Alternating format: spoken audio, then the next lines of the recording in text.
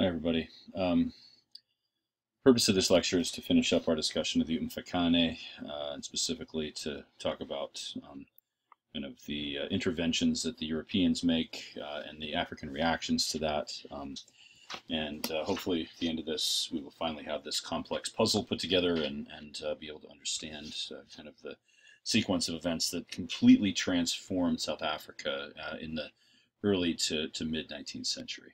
Um, and to do this, we have to go back and pick up something we talked about already, and that is the Great Trek. If we recall, uh, these uh, Afrikaners living here in um, the eastern part of the Cape uh, in the early 19th century were not necessarily thrilled um, with being under the, the thumb, under the rule of the British. Um, they were particularly concerned about British policies toward uh, slavery, um, the, the opposition to slavery, um, British friendliness to African rights and African interests, and and uh, they saw this as not only uh, threatening to the kind of society they had set up, but but offensive to God. Uh, in the Dutch Reformed Church, which was the dominant uh, religious sect uh, of the Afrikaners, um, you know, this had become a tenet of the faith that, that white and black people were fundamentally different and, and should not be uh, acknowledged as equals uh, in you know before God or men, um, and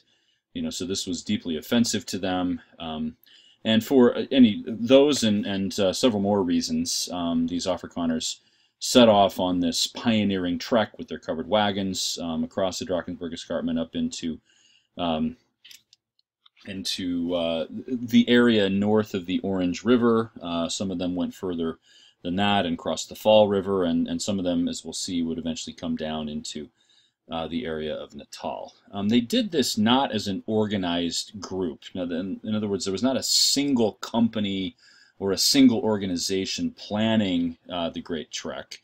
Instead, this was done mostly in kinship groups. These are called Trek parties. They were headed by um, uh, sort of family heads uh, or you know the heads of uh, of large uh, groups of relations, um, uh, and these are some of the most famous uh, figures in in Afrikaner history. Uh, there are many, you know, when I was living in South Africa 25 years ago, at least, there were many streets named after these guys. Um, names like uh, Piet Retief and um, Gerrit Maritz um, and Andreas Andries Hendrik Potgieter um, and so forth and so on. I mean, these were these are some of the heroes of Afrikaner history, right? Um, uh, but they operated independently of each other, and they tended to settle kind of uh, at a remove from each other. And so, you know, um, some of them decided to go one place, some decided to go another place. Um, so they weren't always united in this, and that was going to have that that that was going to have consequences for the kind of the the immediate future of uh, Afrikaner history. Um, in the, uh, the, the Vaal River region, they ran into the Ndebele. And if we recall, the Ndebele had um, uh, been driven out of the area east of the Drakensberg by the, the Zulu Empire, had settled up here in this area. Um, they were led by a guy named Mzilikazi. Uh, and the Ndebele had, were quite aggressive. They had attacked um, the Tswana people and the Sotho people uh, living in this area. Uh, over here to the east, we have the Griqua, who had kind of uh, formed um, their own societies and their own governments there, and, and they were also threatened by the Ndebele. Uh, and so the Ndebele, when the when these uh, you know white Afrikaners uh, crossed into their region, um, they decided to attack them, um, and uh, you know there were tense relations between them. Um, but ultimately, the well, initially the Ndebele had some success at doing this, but uh, as it happened in, in many other cases, uh, the Afrikaners counterattacked and raided the food stores, food supplies, um, even you know, sort of took the war to the women and children. Um, and the Ndebele had done the same uh, in attacking these family groups. Um, and ultimately, the Afrikaners drove the Ndebele out of the Vaal River region. Um, in fact, all the way to the north up here across the Limpopo River. Uh, and this area here became known ultimately as Matabele land. Uh, it had been populated um, previous to that time uh, by various groups. Uh, the dominant among the groups in that area were the uh, Shona, uh, but also the Venda and the Tsonga lived up close to the Limpopo River. The Ndebele um, sort of scattered them, drove the, the Shona to the north, um, and set up their their government and their new society there in this in this new Matabele land. Uh, so this is just further kind of fallout, you know, from the Mfecane. Now, some uh, of these Voortrekkers decided to remain uh, west of the Drakensberg escarpment. Um, the, the dominant figure among them was uh, uh Hendrik Potgieter, um, uh, but the groups led by Gerrit Maritz and uh, Piet Retief um, decided to move to the east, cross the mountains, and go down into um, the area around the Tugela River, which had um, uh, that's this river right here, okay, um, uh, and also the Ncome River, which is uh, a branch of the Tugela River, I believe. Uh, this was better farmland. There was higher rainfall there. Um, some of the best farmland in all of South Africa um, was there, and so this attracted these Voortrekkers. But of course, it brought them into the orbit of the Zulu. Um, who were still very aggressive uh, under under Dingane. Um, and uh, they initially tried to make a treaty with Dingane. Dingane seemed friendly to this, but uh, Dingane himself decided that the Afrikaners were um, probably not to be um, trifled with or, or even um, uh, parlayed with, and uh, you know, after these initial forays into diplomacy, Dingane decided to attack them. And um, uh, in the first instance, um, the uh, the Zulu were well successful. This is in 18 uh, early 1838. Um, the Zulu attacked uh, the Voortrekker group led by Piet Retief and nearly wiped them out. Um, they killed hundreds of them, uh, including uh, the this Voortrekker group had, like the others, um, had gathered together a number of the Griqua, um, who were their servants. Uh, they so they they killed uh, large numbers of these whites as well as the coloreds um, or the Griqua, um, and uh, this was a real slaughter. Um, in one of the assigned uh, primary sources in the Williams book, um, this is uh, part two, section B, document four.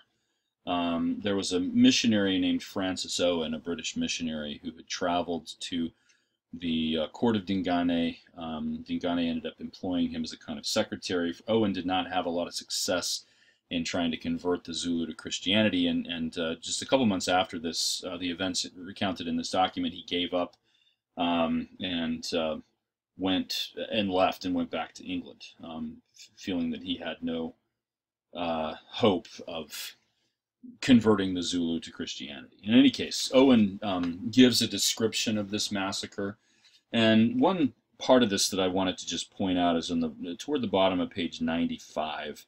It's um, Owen's take on all of this, how he you know interprets the Zulu actions. Uh, you know, decides whether they're justified or not. And in his view, they're not. Right? This is uh, um, this is just an act of savagery. Uh, he says Dingarn. That's the the, the way that he pronounces Dingane. Uh, Dingarn's conduct was worthy of a savage as he is. It was base and treacherous, to say the least of it, the offspring of cowardice and fear, suspicious of his warlike neighbors, jealous of their power, dreading the neighborhood of their arms. He felt, as every savage would have done in like circumstances, that these men were his enemies, and being unable to attack them openly, he massacred them clandestinely. Right? Um, and so Owen finds this abhorrent. Um, Owen, of course, is not uh, reckoning with the fact that the um, uh, the Afrikaners, the Trekboers, had for generations at this point uh, committed similar massacres against um, various African groups um, and you know had slaughtered their their women and children uh, and their elderly, in addition to the warriors.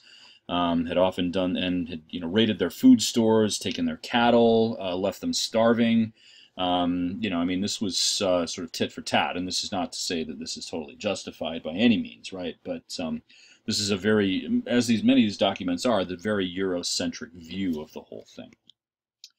Um, the Afrikaners then uh, in a way, counterattacked. They set up a military encampment here um, at the headwaters of the, uh, well, this is the Ncome River. Um, that's this word right here, Ncome. Uh, this became known uh, in European circles as the Battle of Blood River. Um, uh, and this was a massacre of the Zulu. Now, uh, this is one of the more famous battles in South African history. Um, so there was a company of these Afrikaners. Uh, they had lots of guns and ammunition. They had a couple of cannons. And they essentially set up a defensive position by lashing their wagons together. Uh, Dingane, in an attempt to rid them from his land forever, sent about 10,000 warriors to attack them. The Afrikaners, by contrast, had just a few hundred men. Um, but uh, wave after wave of Zulu attack, and this happened um, over the course of, uh, of a night. Um, wave after wave of a Zulu attack was repulsed by the guns and cannons of these Afrikaners. Uh, at the end of the battle, about 3,000 Zulus uh, lay dead on the battlefield. Um, the Afrikaners, uh, at least by the accounts we have, had not lost a single uh, person in the fight. Um, there, you know, this is one case where the, the superior technology of the Europeans made a huge difference. Um, now, you know, the Zulu would go on to be successful later against European armies. This is not, you know, indicative of uh, of every um, uh, encounter between the Africans and the Europeans, but in this case, the Zulus suffered a really stinging defeat and lost thousands of warriors. And this led some of the um, uh, Zulus to decide that collaborating with the Europeans was their was in their best interests. Uh, a rival to Dingane, whose name was Mpande, um, this is in fact his brother, I believe, um, decided to collaborate with the Europeans, uh, and together with a group of Afrikaner commandos, he attacked Dingane. Uh, Dingane um, lost the battle, fled the battlefield, went north where he was killed by the Swazi. Um, and so the guy who had, you know, the the half brother who had killed uh, Shaka was now killed himself in rather treacherous ways. Uh, and Mpande then assumed the mantle of leadership, though in, in cooperation to some extent with um, with the Afrikaners. With the death of Dingane, uh, there was a perception that the Zulu Empire was now um, weakened, um, and it's probably accurate. Uh, and so many of these Ngoni uh, who had fled from Natal uh, because of the predations of Shaka and Dingane, uh, then flooded back into Natal. And this created more of a problem for the Afrikaners than the, the Zulu warriors had. They're, they were just outnumbered by orders of magnitude, right? There were only a few thousand of the Afrikaners there. Uh, there were tens of thousands, if not hundreds of thousands, um, of these uh, these Africans living there. Um, and uh, you know they the Voortrekkers uh, decided to set up um, a government in in Natal based in a, a, settlement that they came to call Pietermaritzburg. Um, this is named after Piet Retief and, and Gerrit Maritz.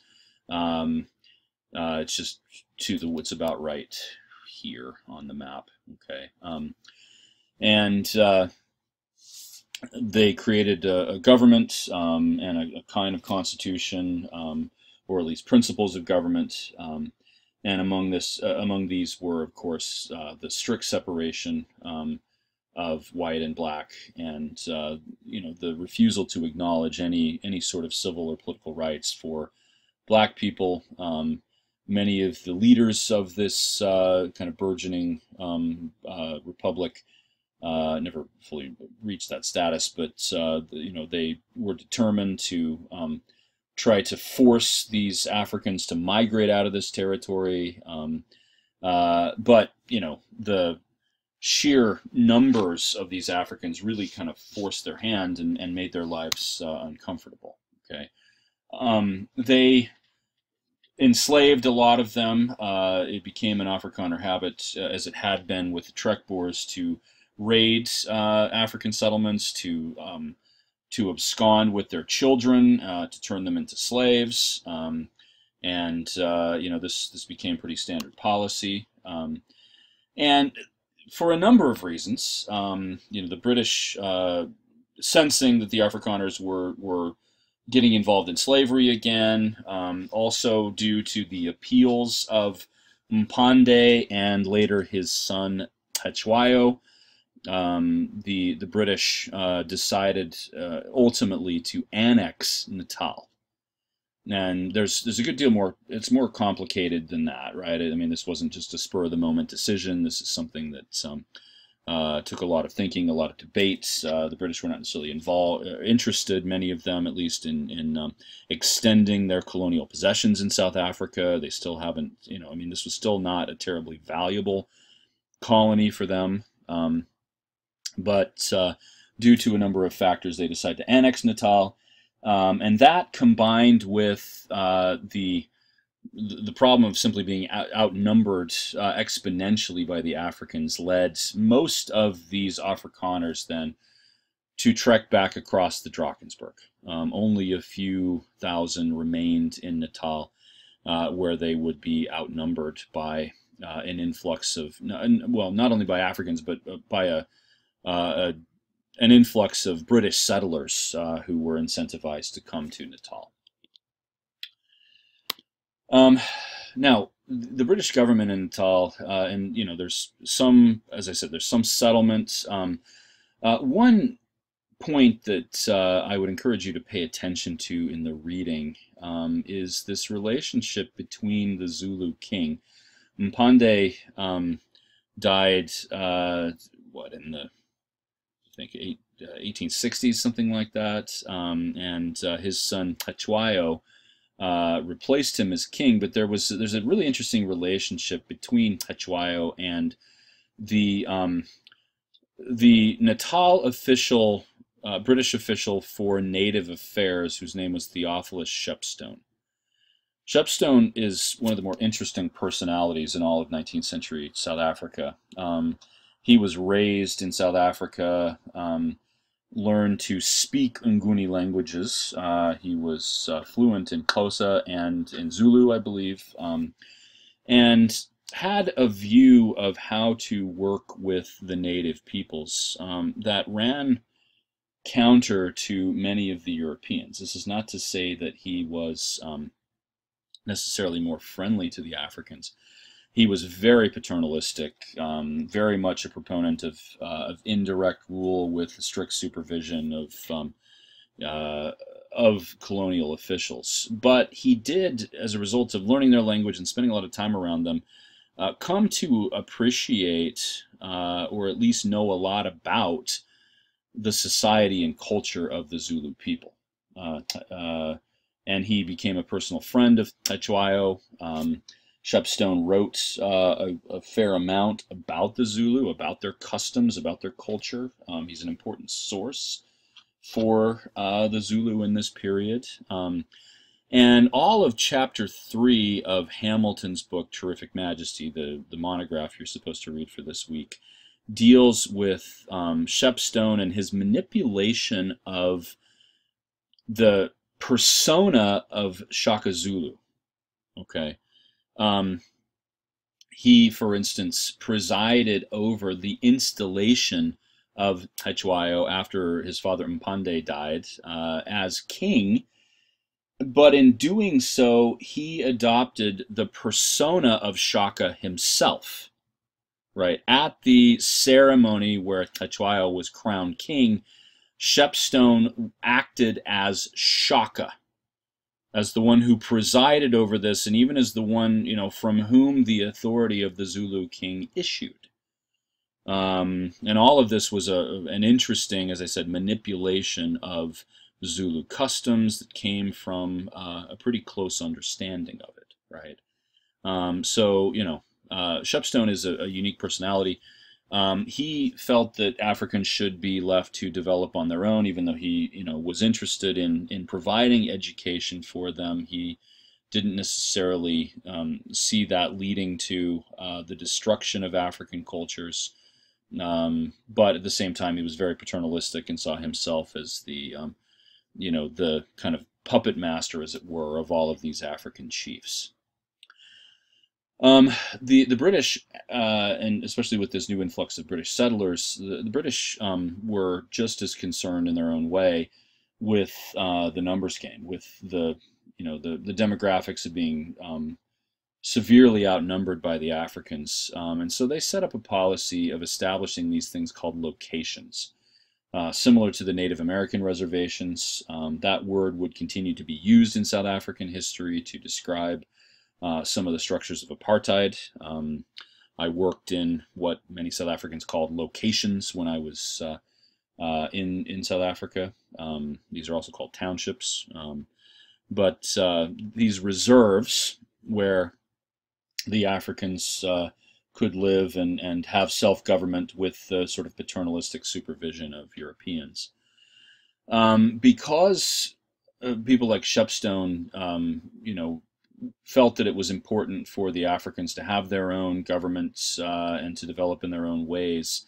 Um, the British were often wanting for labor, right? They they they didn't necessarily employ Africans. Uh, this wasn't part of their policy. They didn't think it was even a very good idea. And so, to provide uh, a lot of the menial labor, uh, the tasks that the settlers didn't necessarily want to do, they imported thousands of Indian immigrants, right? So Natal came to have a large Indian population, and by this I mean people from India, right? Um, uh, and that demographic would remain a factor in Natal all the way through, well, all the way to the present, in fact, right? Um, there, there have always been a lot of Indians from from the mid 19th century on uh, in the eastern part of South Africa. The Afrikaners uh, some of whom had remained in the Highveld uh, west of the Drakensberg, uh, some of whom had gone on their venture in Natal only to return, end up ended up um, establishing two republics. Uh, this one here was called the Orange Free State. Uh, the one up here was called the South African Republic, but uh, colloquially came to be called the Transvaal. Um, and they operated somewhat differently from each other. They both had a legislature, which they called the Volksraad. Um, uh, the Orange Free State had uh, a more efficient and um, uh, kind of comprehensible constitution. Uh, the uh, the Transvaal had a constitution that had something like 220 articles in it, something like that. I mean, it was just very unwieldy uh, dealing often with very specific things. Uh, but one of the commonalities, despite, uh, you know, in addition to both having a, a kind of unicameral legislature, um, was that uh, both of these had very strict policies, uh, laws, in fact, um, governing the relations between the races, right? Um, and the long and short of it was whites had political rights and blacks did not. Um, blacks were not, you know, they didn't have the right to vote, they, they could not be represented, um, they uh, did not have property rights, um, uh, and so this was, you know, inevitably going to lead to clashes, um, and, it, and it would, right? This um, area becomes the, the scene of some of the greatest violence uh, between black and whites uh, for the next century and a half. Um, and there's a lot more to those uh, really than you know than we have time to talk about. Um, but uh, this is what the South African map looks like. Uh, you know, at the end, or rather, by about 1870 or so. Okay.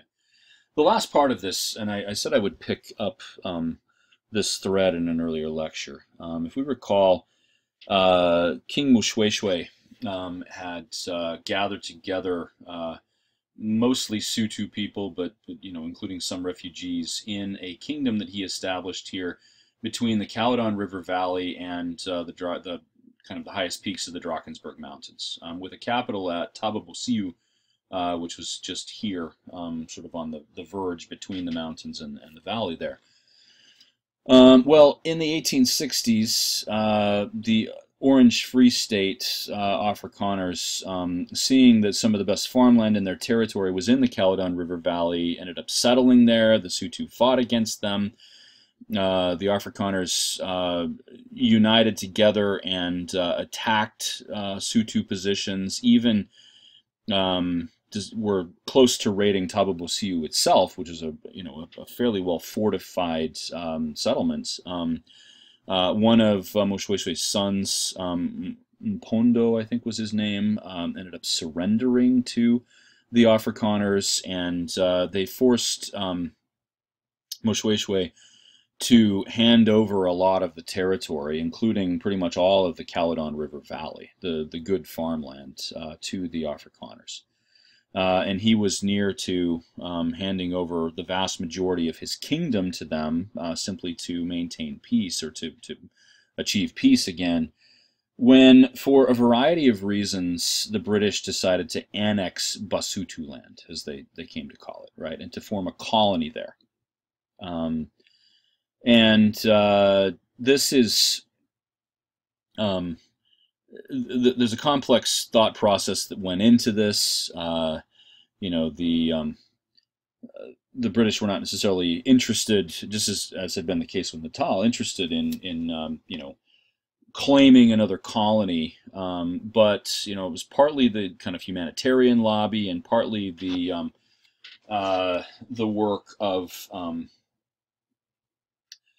uh, a British official named Philip um, Philip Wodehouse, uh, who saw it as the British duty to protect uh, the Sotho, um, but he was just as concerned, or maybe even more concerned, about the uh, possibility that the Afrikaners would um, reach out to other European powers, even um, those who might be rivals with the British. Um, this is, you know, around the time when uh, the Germans were, for instance, um, beginning to form, be, to become united under Prus Prussian rule.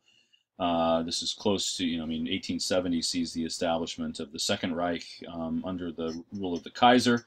Uh, and so Bismarck um, was very active in politics at this point, right? And so there was a fear, uh, and, and, Germany, moreover, um, was becoming the uh, industrial and economic powerhouse of continental Europe. Um, the British feared given you know the the sort of closer cultural and linguistic ties between Afrikaners and Germans that that might be a potential alliance, um, and so uh, they just you know for for, num- for any number of reasons then uh, the British decide to annex or rather to lay claim to um, most of the kingdom of Lesotho and to turn it into a British colony. Okay. Um, by the way, the Caledon River Valley um, was not part of this. They decided not to pick a fight with the Afrikaners, and so the Caledon River Valley fell under the auspices of the Orange Free State. It was really just this area up in the mountains here um, that became part of Basutoland Colony.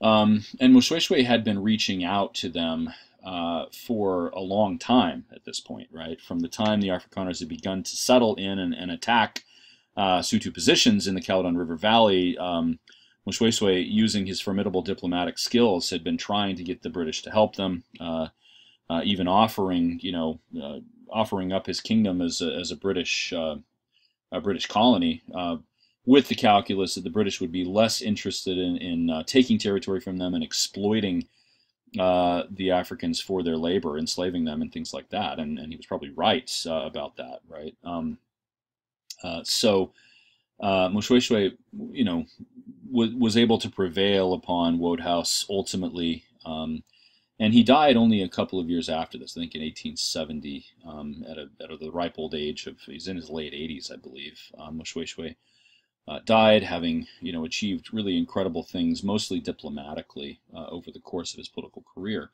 Uh, he had outmaneuvered um, both the Afrikaners and the British uh, in numerous ways. Um, I, I, neglected to mention the 1850s. Um, the uh, uh, there was a British general named George Cathcart uh, who um, decided that uh, he needed to teach Moshoeshoe a lesson um, for really no other reason than feeling that Europeans were superior to Africans and the Moshoeshoe had outmaneuvered you know Europeans and needed to be shown his place, and so he ordered his British soldiers to attack uh, Lesotho um, Moshoeshoe, um, uh, really through just peace overtures, managed to convince Cathcart to leave without, uh, after just an initial foray into his land. Um, and, uh, you know, he succeeded in doing that, right? So Moshoeshoe, as I said, is someone who needs, I think, to have more recognition uh, for the tremendous role he played in all of this. Okay, so that leaves us with something we can simply call colonial South Africa, right? Um, around 1870, this is what South Africa looks like. Uh, we have the Cape Colony down here. we have these independent Griqualand territories, Griqualand West, Griqualand East. Uh, we have the Afrikaner republics of uh, Transvaal and the Orange Free State. Uh, we have then two British colonies, Natal and uh, Basutoland here. Uh, we also have, you know, independent kingdoms still under the control of the Africans like Zululand and Swaziland and Matabele land up here. Um, uh, Botswana, or Bechuana land as the British called it, uh, was by this point a British protectorate. A protectorate is different from a colony. Uh, this meant that the natives were still, you know, fully in charge of the government, but with accepting uh, European advisors.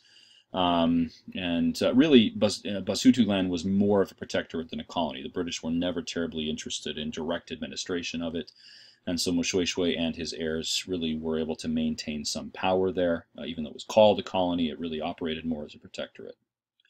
So that's what the map looks like. Now, uh, in 1870 71, um, diamonds were discovered um, right around the confluence of Griqualand West, the Orange Free State, and uh, the Northeastern Cape here. And this was going to change. This ended up changing South Africa forever, um, and that's what we'll turn our attention to um, in the lectures coming up.